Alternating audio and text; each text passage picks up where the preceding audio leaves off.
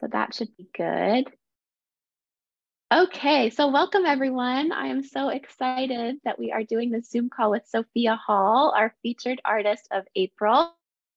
I'm going to quickly introduce Sophia and then she's going to take about herself and then do a beautiful poetry reading for us um, and show some of her paintings from last summer in Aix. Um, oh, so we are overjoyed to have Sophia Hall as our featured artist for April 2023. Sophia is a high school senior and an accomplished poet and artist in DC. She is also the DC Youth Poet 23. She attended um, the Leo Marchutz School in the summer of 2022 for our painting and program in Aix-en-Provence last summer. Sophia will be co-leading our half-day workshop this coming Sunday at the National Gallery of Art, if any of you are there and interested in joining. Um, Sophia has decided to attend the University of Pennsylvania next year. You'll see her sweatshirt on right now, um, showing a little school pride. Plans to pursue creative writing at Penn. Um, we are just thrilled to feature Sophia and her work this month, especially because this month is National Poetry Month.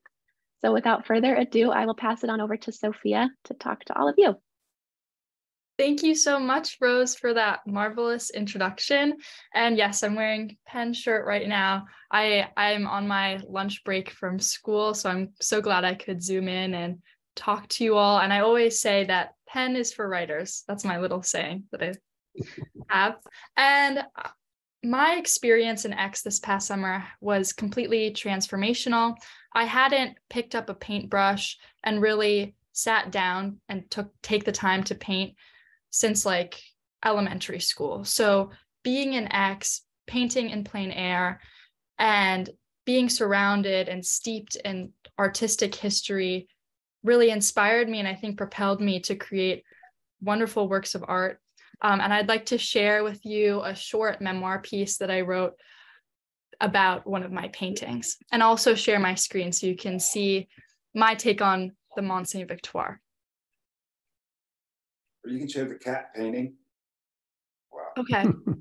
so the the story I'm about to share is called The Luminous Effect of the Whole, and it was inspired by this painting.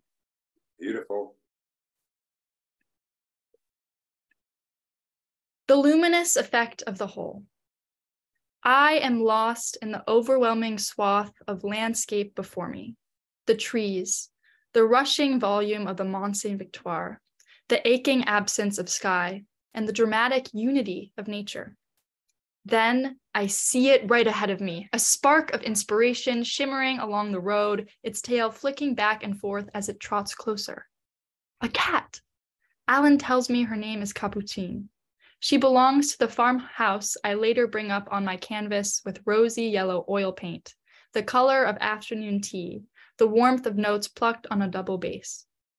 Using the oval of my hands, I discover my motif a narrow paved road leading up to the arcing boughs of trees, fractures of the mountain in between branches. The attention seeking cat finds a seat on the sketch pad, blocking my pencil from my paper. Even when I shoo her off, Capucine remains close, curled by my feet. Contours should be drawn, not in a continuing manner, but rather fragment by fragment, with a lightness of hand, that the object be not closed but open to the light, that it may breathe in the enveloping atmosphere. When I finish a rough sketch, I return back to the canvas. I make a decisive mark. Then I immediately doubt myself and I swab a paper towel into turpentine and swipe off the paint. I could not commit to my artwork. Alan says, I don't feel your usual joy this morning. He snatches the brush from my hands and strikes the void of white with patches of green, the sharp swoops taking the character of umbrella pines. I'll take 10% of the royalties, he jokes, then leaves me alone to produce my own strokes of the motif. Slowly, concentric forms emerge with my brush the thrum of newly hatched seagulls, the passing cars that cheer for us artists, the fragments of the mountain. I let yellow leaves bounce off violet rock, red clay run into green boughs, and blue sky crunch up to orange trunks. I break each color with its complement, creating my own symphony in a world paralleling life. The light changes before me, shadows shortening. The placement of the shadows is very important.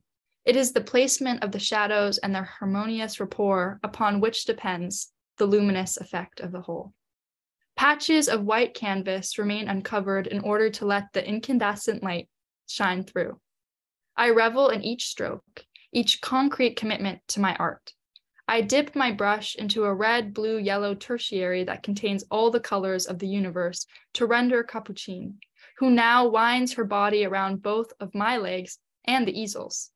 I capture my first memory of her on the light streaked path, a beam of joy with perked ears.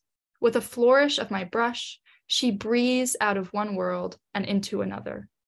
One must leave the paper the power to act by itself in order to give birth to the light. Thank you. So, the luminous effect of the whole, that title was taken from Rembrandt's statement on drawing, which was also interspersed within that piece. So, I don't know if it was familiar to any of you at all. Beautiful, Sophia. Very familiar, I would say. Lovely And while I was also in Aix, one of the exercises we did was copying from the masters. And I was really struck by Cezanne's series of the bathers. And I created three different versions of his painting. And here are two of them. And I even wrote a poem about them. I was so inspired. The Bathers. Tonight is the buck moon, but we are no longer worried about the shedding of antlers.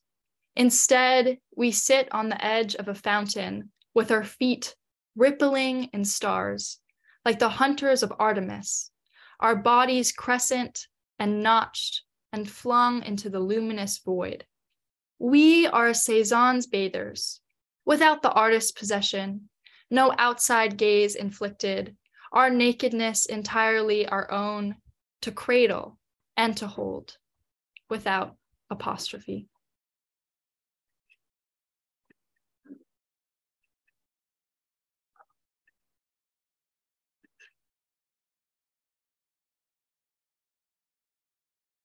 I really, I really enjoyed painting this one. I feel like it took me three times just to get the light just right.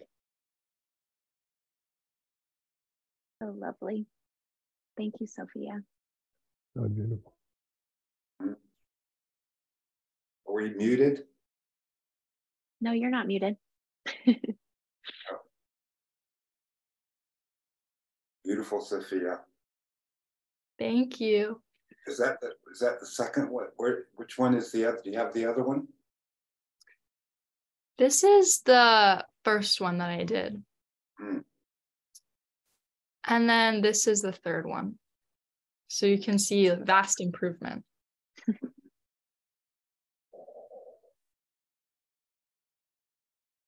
lovely. Goodness. And then I have another poem that I wrote about experiences in Aix that I'd like to share with you all. So I'll put up, hmm, which one should I do? Okay, this is a copy of uh, Van Gogh, and it it's a lot more watercolory than um, the original, but I had a lot of fun painting it. And here's a poem that I wrote about people that I met in Aix and some of the experiences I had. Excess sips Sauvignon Blanc as she renders the jazz quartet with pen onto a napkin to place in the tip jar in lieu of a 20. She bites into the entire world like cherry tomatoes from fresh market green cardboard, something to sink teeth into, pulp and all. She reads tarot cards.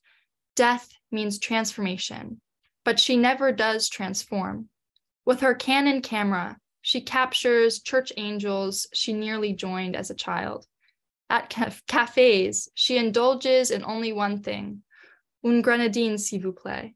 She also indulges in holding the handlebars of a motorcycle driving man's mustache that she hitched on the back with. She dyed her hair purple in a hotel bathroom and spray painted cowboy boots red.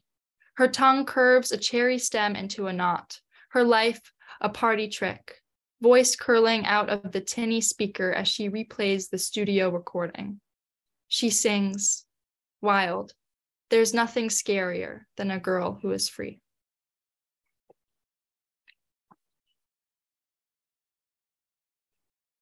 And then I also want to go through just some of the different ways, different mountains that I captured in Aix. So this was, I think I did it on my last day up painting the Mont Sainte-Victoire. And I kind of think of it as a frog. I can see like the two black eyes here and just like the green. I thought the green would ground the painting down, but for some reason it just it takes on the form of this bulbous frog. but it's cute.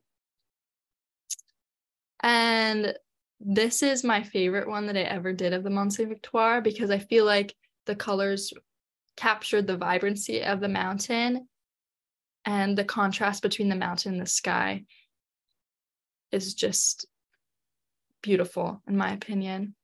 And this painting, I called it power line because right here in the mountain there was a power line and I remember I was really struggling to paint it and put it in the painting in a way that wouldn't distract from the rest of nature. And then Alan was just like, you know what? You don't have to include it if you don't want to. And it's like, what?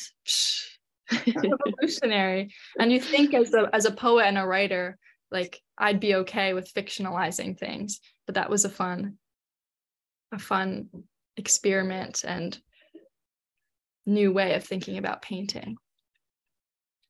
And this is a chateau that I p- painted on a lake. It was called the Lac de la Bande, I think. Mm-hmm. And it feels like something out of a fairy tale. And I had a lot of fun with playing with different colors and making it seem more fantastical. So that's my repertoire from my summer in Aix. I think I can open it up to questions now if you have any. Lovely, Sophia. Thank you. So um, beautiful. Really?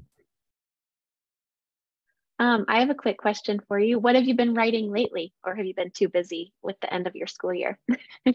no, you know, I've been so with the end of the school year, you're right, it's been really busy, but I recently learned that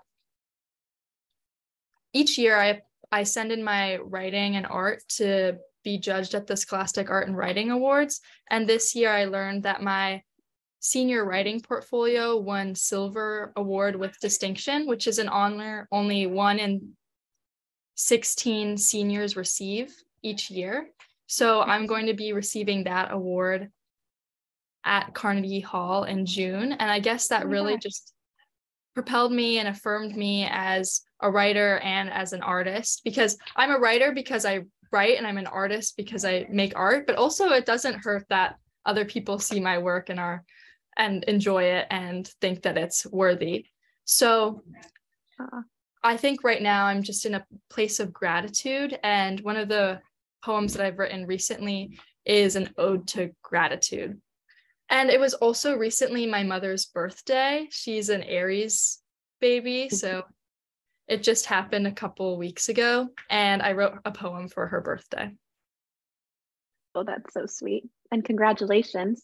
You've got all the aids, don't you? so tell me about this Carnegie Hall gig. When when is that? You go to New York? in uh, Carnegie Hall's in New York, right? Yeah. So basically each year they have an award ceremony and I'll be presented with my medal on stage. So, so it's in early June.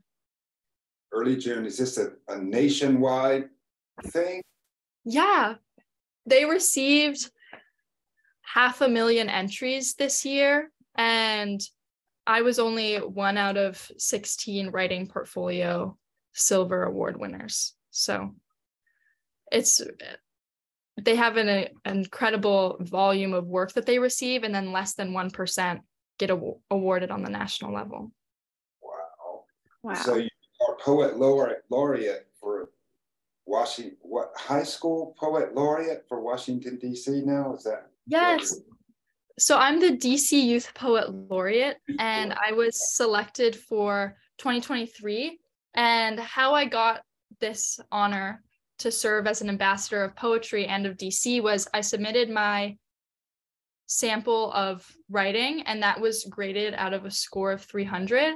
And mm-hmm. then I was chosen out of a pool. There were only three finalists chosen. And then I had an interview, which was really intense, that was also graded out of 300 points. And out of 300 possible points, my poetry scored 300. And then out of 300 possible points for the interview, I got like 282.5. I don't know how they got the 0.5, but I got the highest score. And now I have the privilege and the honor of engaging with the community and promoting the power of literacy, of spreading joy of learning and love of language. And I'm I I can't believe that I have this position, I have the title, and I'm able to really work in the community, teaching writing workshops, working with little kids at the libraries. It's amazing. Mm-hmm. So, what would your projection be for how many years it's going to take you to become poet laureate of the United States? Would you say? hmm. Ideally, you know, it would happen in the next year or so, but I'm a writer. Oh, yeah? I'm a dreamer. well, actually, Ada Limon, the current U.S. poet laureate, was just confirmed through 2025. So I, I guess I can't be poet laureate until 2026. Watch out for me. Okay, I'm I'm going to put money on you, that's for sure. So 2026. All right, that sounds good. Incredible. So tell me a little bit about the interview. When you said it was really intense, how did how did they ask you questions? What did they how did they interview you?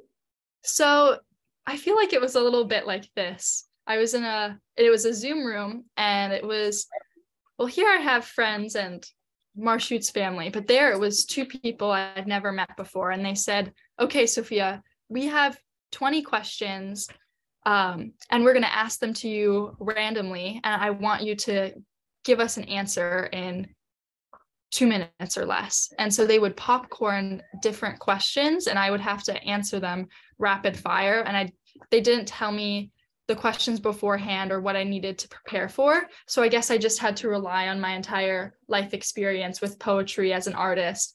And I had to, they asked me questions about what I would do with my position, how I would work with the community. They asked me a question if you were in a room with 21st graders right now, how would you teach them about poetry? And I was like, oh, wow, okay.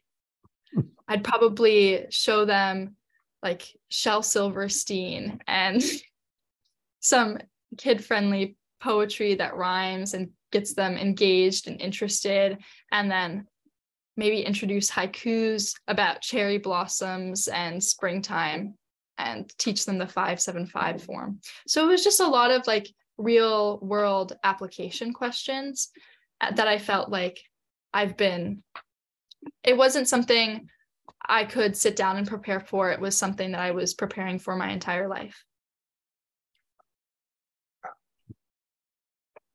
Good job. And so you're ready, ready for the museum tour next in five days? Yes, I'm so excited. I've been working with Kathleen and my co-leaders Amelia and Nick to help brainstorm prompts and develop them and flesh them out so that when people come on the workshop and tour, we're going to be looking in depth at Cezanne's painting A Bend in the Road, that people will have a really enriching experience looking at the painting, um, looking deep inside the painting, and then taking that outward reflection and turning it inward to write some memoir, to write some poetry, and then hopefully have a finished product that they're proud of. Show of hands, how many of the people here are from DC? Or where is everyone from? I guess would be a better question. I'm from DC. I'm born and raised. So you can just type in the chat. Oh, or say it out loud. I, am from Virginia, but I live in Dallas now. Mm. Which I'm is Mary. hi, Alan. Hi, France. Yes, 12 years in France. I went to the Marchutz School for the first, uh, it was going to be a summer program, and I stayed uh, 12 years. that might be the record of students yeah, saying, although Al, actually Alan and John have the record beat, don't they? yeah. and, and, and Kathleen. and Kathleen, of course. I'm two hours away from Washington in Harrisonburg, Virginia. Mm. So not far away. Oh, Sam's joining. And I'm in Portland. You know that. Closer to Washington State. Sad face. Let's see. Sam Bjorklund just, just joined. Minutes. You're in what? You're in Florida, Sharon. Let's Oops. see. You're on mute, Sharon. Here, let me see if I can. I can ask you to unmute, and then it should. There you go. Yes, I live in Florida now, but I was uh, born in Georgia, grew up in Maryland, went to school in Virginia, so the wow. D- around the DC area, kind of and then lived in Southern California for a long time before moving to Florida. And I went to the Marchutz School unexpectedly in 2013. I went back to school at the University of Mary Washington and won a scholarship to go to paint in France, and I chose Marchutz. Mm, yes. And you're still in Italy time, aren't you, Sharon? A little bit. Mm-hmm. Just, excuse yeah. me. Yes, a little bit. Wishing I was still there and figure, oh. trying to figure out how do I recalibrate now. Uh, how did you come to be interested in writing and poetry? What what galvanized you as as a much younger child? I guess not that you're. I think my proclivity for reading really helped me because I was I was always an avid reader. You couldn't catch me anywhere without a book. I would bring a book on the bus. I would bring a book to dinner time. You know, some kids nowadays are told like, "Hey, get off your phone," or like, "Put away your toys." My mom had to tell me, "Sophia, put down the book." Like, put it away. Like, you can't read while eating. It's like, I even tried to read while scootering once, and that was not a good idea. I propped the book up on the handlebars and was like pedaling while while reading. I was just so invested in stories and storytelling. And having that foundation in literacy and loving reading and loving being immersed in stories, I think inspired me to write my own. So I started with writing fiction and imagining stories. And in second grade, I had a really amazing teacher who helped me discover poetry and haiku. But then, as Rose mentioned, like I I have I'm I naturally take up a lot of activities because I have a love for everything. So I kind of lost time to to write in my journal, and it wasn't until I started high school when I I first found a writing workshop in DC. It's called Writopia Lab, and I took workshops workshops with them and then the pandemic hit and all the workshops were virtual and I was able to take Zoom workshops from places I normally wouldn't be able to take workshops from like workshops in New York City or workshops in Maine and I'm glad I didn't have to do a virtual workshop in Aix cuz that would have sucked but I was able to have so much t- more time to devote to writing and work on this craft that helped me express myself, express my story, my identity, and figure out who I who I was. Do you feel like you have any particular influences, poets that you particularly have an affinity for, or other writers? So the current U.S. Poet Laureate Ada Limon, um, I had an affinity for her before she even became the poet laureate. It's actually a a fun story because there was this contest called held by 16 Rivers Press in the Bay Area and they asked teenagers to pick any poem that they felt inspired by and to write a response poem. So I was flipping through this book they sent us, an anthology of poems about America, and I found a new national anthem by Ada Limon, and I felt like it just spoke so much to me and the country and I felt compelled to write my own poem that kind of investigated the question what is the national anthem? What anthems do people believe in or or have in their lives? And I wrote out a list and it's called multiple choice. And so I included like choices A, B, C, and D, even though people and anthems can go all the way through the alphabet, all the way to Z. I can actually I can share that poem with you right now if you'd like. That'd be great. That'd be great. But Sam, I saw Sam come on. Sam, did you see the paintings? Were you able to see the paintings earlier? Joined after they were shown. I can project again while I read. How yeah. would that be? That'd be great. My auto, am I? There you are, Sam. We can hear you. Oh, okay. the, the question again was, did I see the paintings? Uh, what I just got here, I just joined the meeting. So no, I don't know how to get any of this stuff turned on. No, she showed her paintings. No, I got here late. I'm sorry. She no, did that's class, okay. you suffer. No, but you commented on her painting online, so I wanted you to. Oh, the the, oh. the the thing of the trees. I remember that yeah. beautiful harmony. Yeah. Yeah. Oh, I yeah. see it down there. Be that that yeah. I I just think that's tremendous harmony. Yeah. Showing showing the uh, Cezanne last Cezanne copy.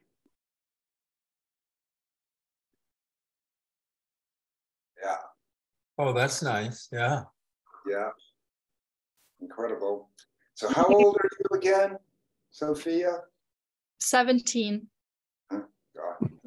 Yes, I remember when I was 17 getting ready for the group in, in the uh, National Gallery to look at paintings. It was very difficult. Yeah, me too, getting bailed out of jail. Yeah.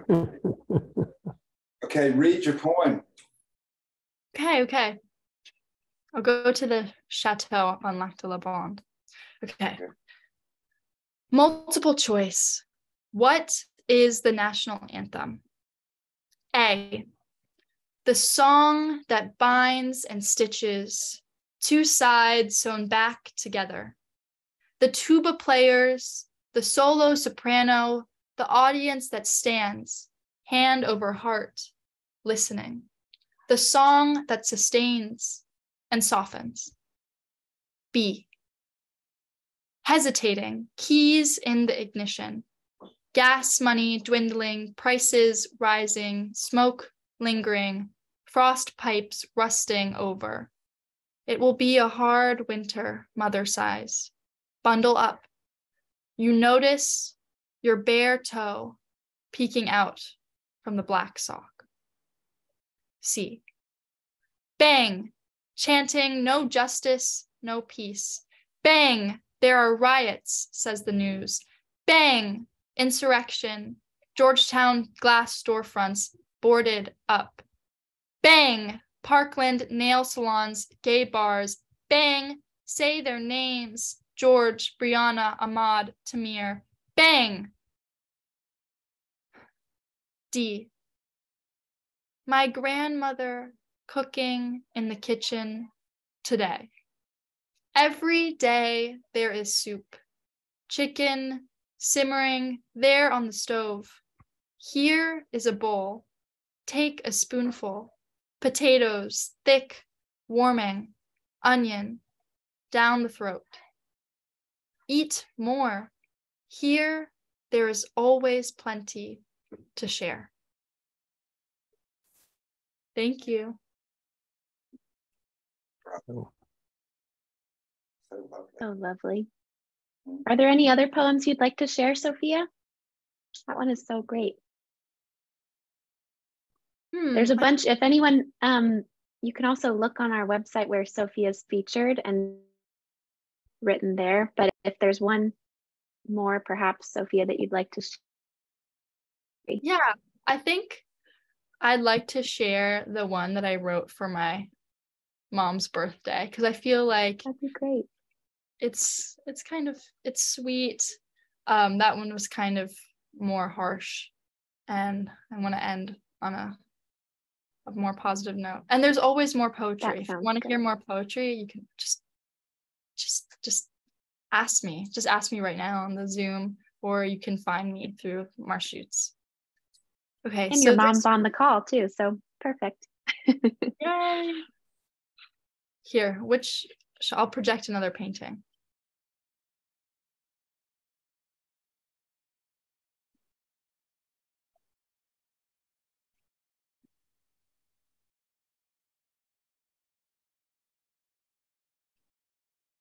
Or maybe not. Hmm. I'll just share, I'll just share my poem. It's called The Absolute. Say that the storm will soon cease, and the oars we use to paddle back to shore for shelter are just our words reaching out across the abyss. Say that these words will one day become more than whispers and that speaking is not just for saying sorry. Say that all this waiting and weathering and whining wasn't for nothing. Say that you will hold me through the night. Say that I am a spoon and you will be my bowl, and I will only ever hold a fraction of your sorrows. Say that when sleep creeps up the stairs like a cat with great yellow eyes, we will surrender and reach out to stroke its humble head. Listen to sleep's sweet rumbling purr. And say that when love comes barreling at us like a pothole, we will hold on to the handlebars as best we can. Say that you will let me stay and write poetry for you in exchange for a soft pillow and an empty journal. Say that you will let me stay even in the cupboard underneath the sink or the nook above the washing machine. I really am quite small. Say that I can steal clothes that you used to wear and you won't get mad. Say that we will turn our st- struggles into strength and our wounds into wisdom. Say that the glow in the dark stars you pasted on the ceiling can light the glow in the dark stories that I write.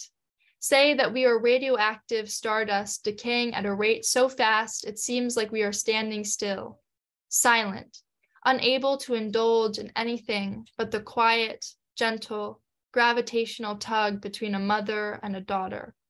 The pull that says, There is no love softer than this. Thank you for listening. So beautiful. I have a question. Mm-hmm. Dear Sophia, how do you think the experience of painting last summer affected your writing, considering all these beautiful ideas that we talked about in seminar and in your work, your daily painting, talking about volumes and light and color? How did that affect your writing? or do you know yet? Well, the way that you've just mentioned volumes is one way that painting changed my writing because I encountered a new unfamiliar world and I got to expand my vocabulary. I learned words that I otherwise would have been unfamiliar with and got to apply them into a story to make it feel richer, to feel it more, to make it feel more real and authentic to the place that it belongs to. And in the first piece that I shared, the luminous effect of the whole, I used so many words that I learned from Marchutz and from painting an Aix in it, like concentric circles and finding the motif and mm-hmm. rendering a painting and looking deeply into it. So mm-hmm. that's mm-hmm. just from the words and the language aspect, my writing has evolved tremendously from Marchutz.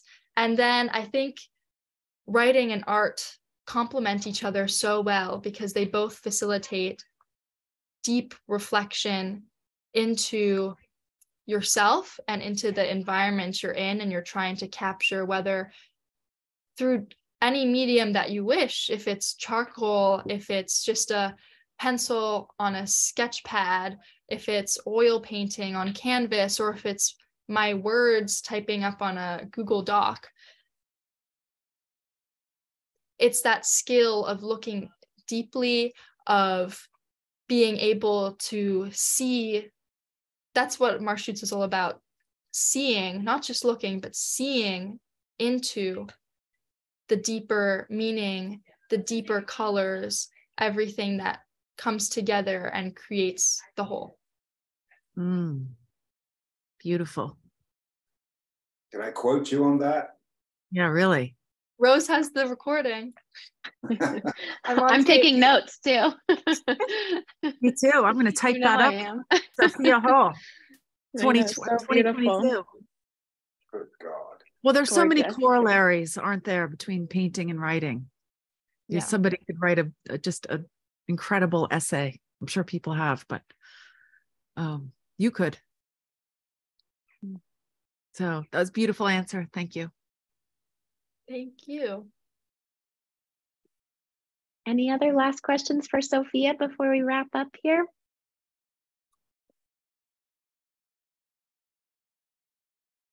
When you receive your award at Carnegie Hall, will you be reciting as well? So I don't know yet, but there's going to be a rehearsal um, beforehand, and I guess I'll see then too. But I also have a lot more opportunities to perform. Um, for example, in just a little bit over a month, I'll be performing at the Kennedy Center um, wow. alongside my fellow youth poet laureates in Arlington and Montgomery County. So you can see my performance there. Wonderful. Congratulations. Yeah, yeah keep us up that, Sophia. We'll post it everywhere so you'll get lots of audio yeah. Ozzy, Sophia. Thank you. Mm-hmm. And Great. Well, thank you again. Oh, go ahead, Alan. forget about us as you move up that ladder. Marchutz has such a special place in my heart. Oh. Good, lovely, Sophia. Good work. So lovely. Yes. Thank you, Sophia, for sharing your poetry very, very and your powerful. paintings with us. So wonderful. And thank you to all of you for joining today. So good to see you. Yeah, it is to see these beautiful, familiar faces. My God. I know. So sweet. okay, everybody, take care. Talk to you for soon. the rest of your Tuesday. Elizabeth, a kiss for me. Bye. Bye bye.